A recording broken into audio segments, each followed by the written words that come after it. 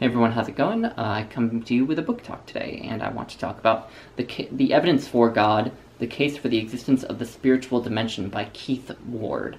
Keith Ward uh, is a professor emeritus at Oxford University. He is an Anglican pastor. He's written quite a few books on the subject of religion, as well as the in- crossing between science and religion. So he certainly has uh, an impressive bibliography and seems to have qualifications, uh, although I have to say that it does surprise me that someone with the qualifications that he has could have written such a intellectually sloppy book as this is. Uh, yeah, so the title of the book is relatively self-explanatory. Uh, Keith Ward is kind of putting forth his own perspective, his own argument about why he believes that there is, as he call it, as, as he calls it, a spiritual dimension to the world. That the world isn't purely material. And he often refers to the spiritual dimension, of course, as God, mostly because he comes from the perspective of a, a Christian. And something that I was on board with early in this book was the fact that he at least said that he wasn't going to be making kind of logical proofs of God. He wasn't going to be trying to sort of prove God's existence with arguments or, or logic or reason or scientific evidence or anything like that. Uh, he actually says uh, very early in the book that he takes a, a much different perspective. Uh, and so he this is what he says on that subject. Uh, it should be clear that looking for evidence for God or for spirit or for spiritual reality is not going to be like looking for evidence for some exotic animal or for an invisible teapot. Looking for that sort of evidence is like looking for footprints or chewed leaves that will show an animal has been there but a purely spiritual being does not leave footprints or chew leaves. And he says a little bit lower, uh, there can be evidence for spiritual things, but it will not be like evidence for physical objects. Even when physicists look for evidence for tiny subatomic particles that can never be observed, like quarks, they assume those particles are physical in some sense. The main and most important evidence for spirit will be evidence for the existence of non physical supreme values. There is such evidence, but it is going to be very unlike evidence for electrons or quarks. So it kind of says that his way of argumenting, arguing isn't going to be laying out data, laying out logical proofs, or anything like that. It's going to be kind of a, a bit more subjective, sort of arguing from your own subjective experience of the world. And you know, he he talks about art and our subjective experience of art and how we tend to find sort of transcendent experiences in art, and he claims that that is sort of evidence for a spiritual dimension, or at least that it's a necessary but not sufficient condition for the existence of a spiritual dimension. Uh, he looks at morality and how the fact that humans feel this compulsion towards morality is evidence for a spiritual dimension, I guess. Uh, just the impulse that we have toward morality is somehow, uh, you know, an evidence for for God. Uh, and I think I think his first stumbling block is is that he has an unspoken assumption throughout the book, which is this assumption of dualism, this assumption that the mind is somehow separate from material reality. Uh, and he never says this, that he believes this, but it's definitely implicit in a lot of what he says. And uh, one instance where that is that becomes very clear is actually towards the end of the book. Uh, and he says, uh, and I quote, uh, some neuroscientists suggest that such experiences are simply physical states of the brain without objective reality. As though what happens in the brain doesn't have objective reality, right? Thus implying that what happens in the brain, and from his perspective, is somehow, you know, not material, that it that there is such thing as a mind. Uh, and there's another piece of evidence of this earlier in the book. Um, he's actually quoting from Stephen Hawking, and he says, uh, so this is a quote from Stephen Hawking, uh, we human beings are ourselves mere collections of fundamental particles. And then Keith Ward goes on to say that that is a philosophical view if ever there was one. It is precisely what is usually called eliminative materialism. It reduces consciousness, feelings, and thoughts to nothing but complicated arrangements of physical particles and thereby eliminates them from reality.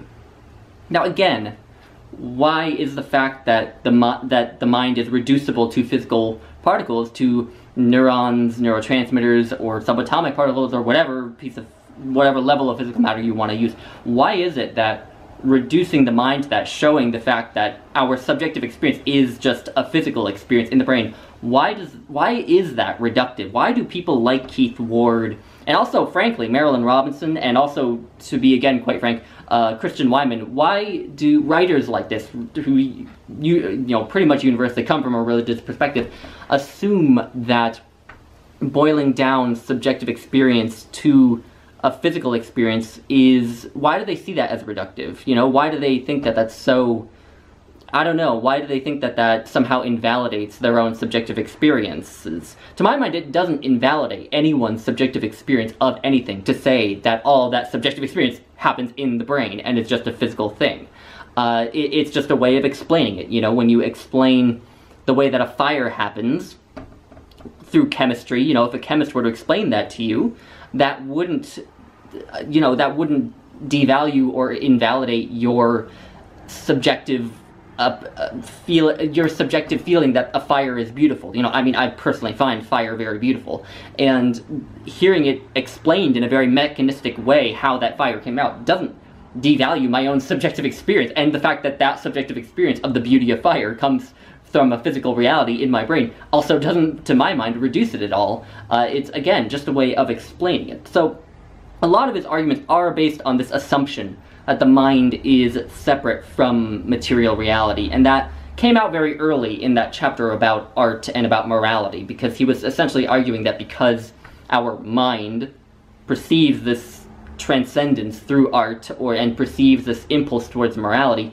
therefore that is evidence that there's a god influencing the mind or something like that. Uh, and so that I think is a huge problem. Another issue that I think I've touched on in what I've already said is that I think Keith Ward confuses a materialism and nihilism. So materialism is obviously belief that every all of our subjective experiences are able to be boiled down to physical reality, which is sort of which is definitely my perspective. Uh, but but that's different from nihilism, which is just that you believe in nothing, that you believe that there is no morality, nothing is right, nothing is wrong, everything goes, so on and so forth. And those are two different things. And he seems to believe that you cannot argue for morality without recourse to some kind of supernatural deity, which, again, I just don't agree with. You can make arguments based on just, you know, sort of physical reality for being a good person, I think. You know, it is in a lot of people's best interest for you to just be a decent person, uh, and you can make those arguments without recourse to a god or a soul or anything like that. So, there there is there is this confusing of terms and this unspoken assumption of dualism in his book. And you know what what the but the the one the thing that I think I probably took most issue with is the circular reasoning reasoning that I see in this book. You know, even though he starts the book out saying that he is not going to lay out like logical proofs or you know give scientific evidence for God, he does kind of end up doing that because he basically starts to talk about uh, he basically starts to try to make this argument that the universe shows a purpose, like suggest like the universe in the way it's structured suggests that it has some sort of a purpose, that it's working towards some sort of an end, uh, which would suggest the existence of a god in his mind at least. Uh, and he at one point leans in toward I don't know if he necessarily names it, but he leans in towards this you know fine tuning argument, this idea that uh, that that that our universe is fine tuned to create consciousness. Uh, and um, oh, this happens uh, somewhere near the middle of the book. Uh, he says, uh, so uh, this is what he says. many basic laws and the values of forces like gravity and electric charge have have to be almost exactly what they are to produce a universe which is stable enough to develop carbon-based life forms like us. Very slight changes in the nuclear force or electric force would destroy even the possibility of intelligent life like ours. And I mean, this is a just so story. You know, uh, the thing, the problem with this kind of an argument is that we only have the one universe to to tell us about this sort of thing, whether our universe is fine tuned. We we have a in you know statistical terms we have an n of one. We have a sample size of one, and when you have only a sample size of one and nothing to compare that one universe to, you can't really know if your universe is fine tuned to produce consciousness.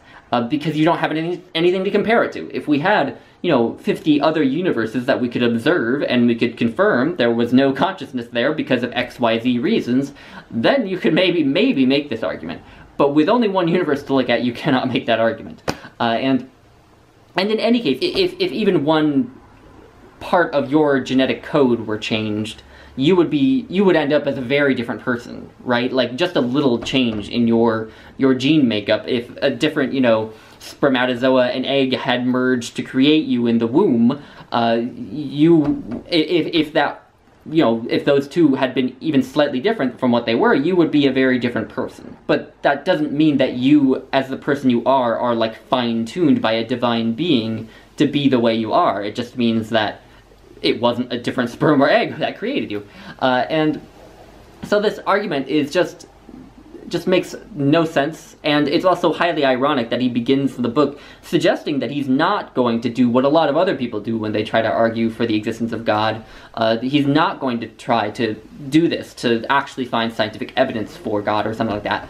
Uh, and yet here he is kind of doing it. And and on top of all of this are just the number of statements that he makes that he just offers no no uh, support for. He just kind of seems to say them as though you should just accept them by, by his word. Uh, and I, I have only two examples for you, so don't worry. I'm not going to go. I'm not going to go through all of them. But they both just happen to be uh, on opposite pages from one another.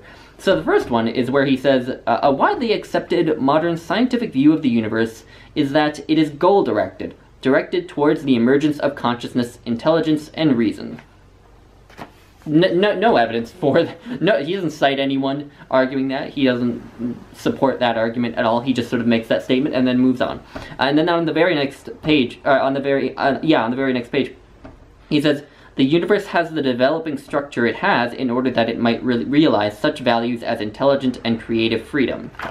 Again nothing said to support it. And yeah, so I, I hope this video has attained some level of coherence. Uh, I don't think that this video was ever going to be super coherent because there's just a lot of problems in this book and there was there was a lot more that I could have gone into. I feel like I could have made this video, you know, an hour long where I just dissect various statements that he makes in this book, uh, but I didn't want it to be ungodly long and I've also kind of been procrastinating on doing it because I knew it would be kind of hard.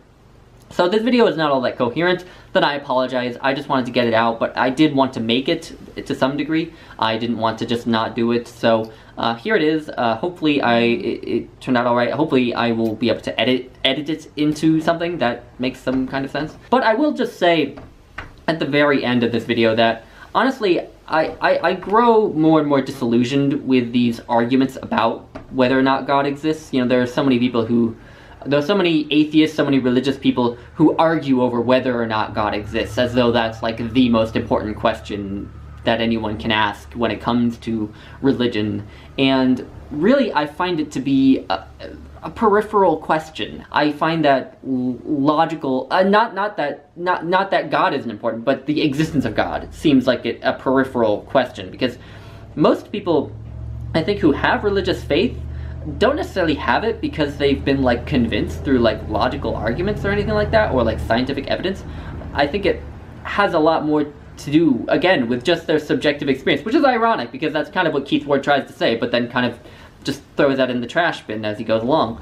Um, and for, for most people, it's you know their experiences, their their lived experience of the world that that matters much more than argumentation. And I think that's true of atheists as well. I don't think most people who become unbelievers or are unbelievers or have been unbelievers were necessarily convinced by some kind of you know logical argument or anything. Like they just kind of eventually realized that they that it didn't mean much to them that the idea of God just didn't mean much to them. And you know I, I will also just say that two other books that I read this month were um, My Bright Abyss uh, Meditation of a Modern Believer by Christian Wiman and What Are We Doing Here? Essays by Marilynne Robinson uh, in which these two people, who are both religious and who are both believers and both intensely smart, uh, just talk a lot about their own faith and their own approach to the universe through faith and through through their belief, their faith in God. And you know, I find that just hearing about that infinitely more compelling than having someone try to shove God, God down my throat. You know, uh, you know, it makes God, it makes me kind of see why someone would have faith much more clearly than a book like this. You know, just looking at people approach the world through faith makes me understand it much more than, again, this kind of a book. So, anyway, I, have kind of repeated myself. I've gone on for longer than I meant to. I will leave it at that. I hope you enjoyed. Uh, and uh, anyway, I will leave it at that. Bye, guys.